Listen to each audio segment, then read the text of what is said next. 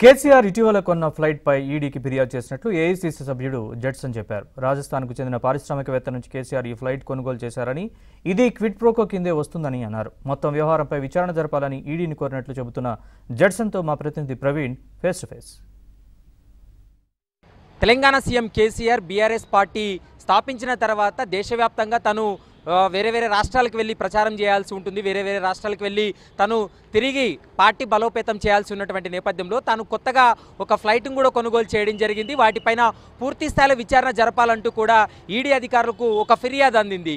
కాంగ్రెస్ నేత ముఖ్యంగా AICC member Bakka Judson ఇచ్చినటువంటి ఫిర్యాదుతోటి ప్రస్తుతం ఈడీ అధికారులు కూడా విచారించేటువంటి అవకాశం అయితే కనపడుతుంది.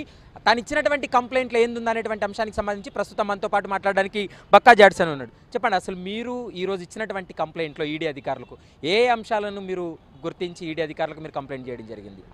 ఈరోజు ఆయన ఈ ఫ్లైట్ నాకు ఖమ్మం నల్గొండకి వెళ్ళి కొంతమంది టీఆర్ఎస్ నాయకులు కొనిచ్చిండ్రు అన్న ఆయన స్టేట్మెంట్ ఇచ్చినప్పుడు దాని మీద అనుమానం కలిగి మేము దీని మీద ముందుకు ఫర్దర్గా మేము దాని మీద ఎంక్వైరీ చేసుకుంటూ పోతే ఇది ఇటీవల ఒక ఫార్మా కంపెనీ పైన పెద్ద ఎత్తున ఈడీ దాడులు జరిగినప్పుడు అల్మార్ల వందల కోట్ల రూపాయలు దొరికింది.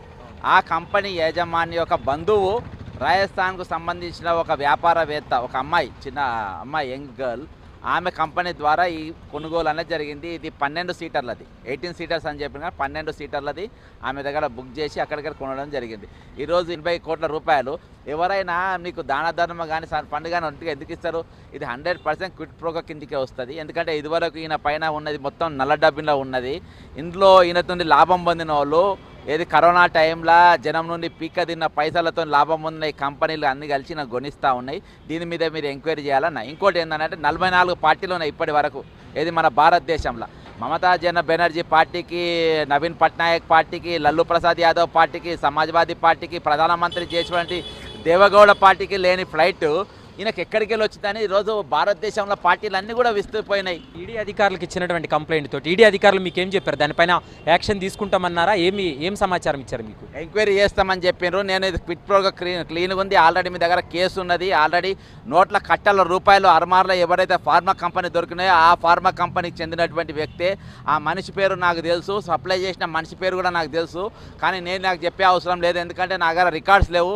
మీరు ఎంక్వైరీ చేసి దాని మీద కేసు నమోదు చేయాలని చెప్పేసి ఫిర్యాదులో పేర్కొన్నాను ముఖ్యంగా బక్కా జాడ్సన్కి కేవలం తెలంగాణ రాష్ట్ర ప్రభుత్వం టార్గెటా కేసీఆర్ కుటుంబం టార్గెటా గతంలో కూడా మీరు కేటీఆర్ పైన కావచ్చు కవిత పైన కావచ్చు ఇప్పుడు కేసీఆర్ పైన కంప్లైంట్ చేస్తున్నారు. ఎవరు మీ టార్గెట్ ఎవరు?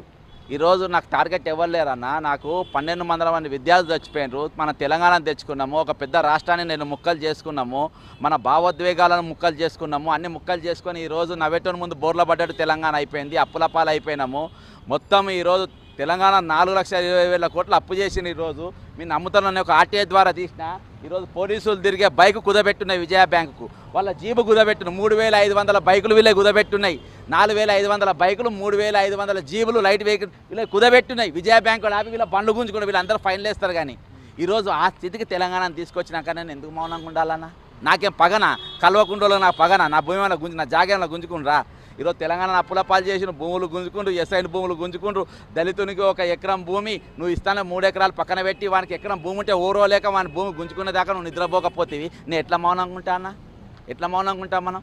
దాని విషయంలో ఈరోజు కూడా నా పర్సనల్గా వాళ్ళ మీద ఏం లేదు. అంటే ప్రస్తుతం అయితే మాత్రం ఇప్పటికే సీఎం కేసీఆర్ పైన ఇచ్చినటువంటి కంప్లైంట్ అయితే ప్రస్తుతం అయితే ఈడీ అధికారులు వాటిని పరిగణలోకి తీసుకున్న తర్వాత ఇప్పటికే బక్కా జాడ్సన్ ఇచ్చినటువంటి కంప్లైంట్ మేరకు అధికారులు చర్యలు తీసుకుంటారా లేదా అనేది చూడాల్సినటువంటి అవసరం ఉంటుంది. ఇప్పటికే రాజస్థాన్కి సంబంధించినటువంటి ఒక పారిశ్రామికవేత్త ఈ యొక్క కంపెనీ అంటే ఏదైతే ఈ విమానాన్ని కొనుగోలు చేశాడనేటువంటి అంశాన్ని కూడా స్పష్టంగా తన కంప్లైంట్లో పేర్కొన్నాడు కాబట్టి ఇది క్విట్ ప్రోకో కింద వస్తుంది కాబట్టి వాటిని పరిగణలోకి తీసుకుని పూర్తి స్థాయిలో విచారణ జరపాలనేది కూడా ప్రస్తుతం డిమాండ్ చేస్తున్నారు. మరి ఈడీ అధికారులు భవిష్యత్తులో ఏం చేయబోతున్నారు అనేది మాత్రం చూడాల్సినటువంటి అవసరం ఉంటుంది. వీడియో జర్నలిస్ట్ త్రివిక్రమ్తో ప్రవీణ్ కలవల ఏబీఎన్ ఆంధ్రజ్యోతి.